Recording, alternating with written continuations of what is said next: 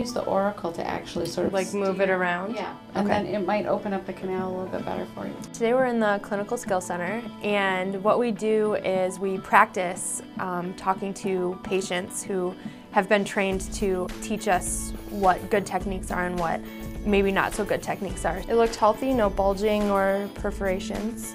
You want to try the Um, other ear?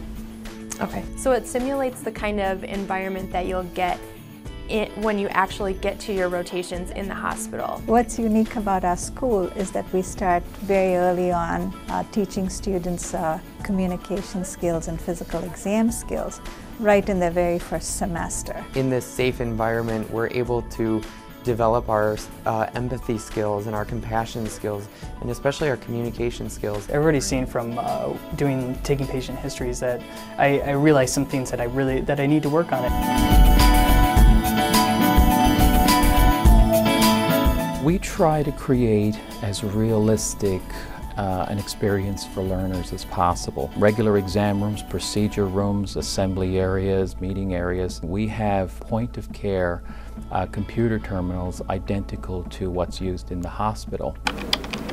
They log into that, they go into the room, conduct the encounter just like the real thing. As a first year medical student, going through those motions and, and learning how to take appropriate notes and, and learn what is important to document and what is not as important is an opportunity that the tech technology here affords us. At this Clinical Skills Center, we have the ability to test the students on a variety of skills, not only their skills with physical exam, but communication, specialized communication, for example, breaking bad news, discussing treatment plans with patients, counseling. Other than the diabetes and high cholesterol, are there any other medical conditions?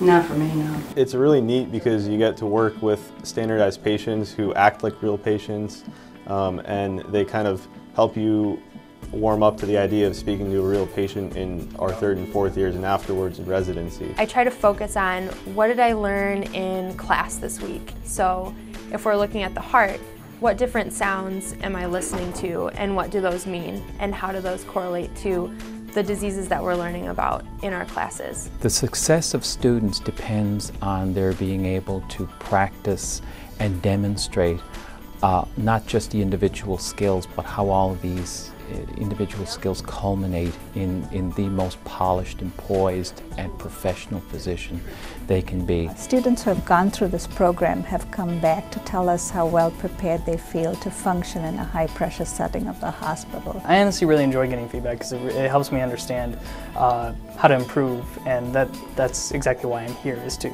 learn to get better. The skills that I am learning here at OUWB in my first year directly correlate with the rest of my life in, in a career of medicine. As a physician, I'll be using all of these clinical skills to diagnose patients and pathologies that ultimately will make me a better physician.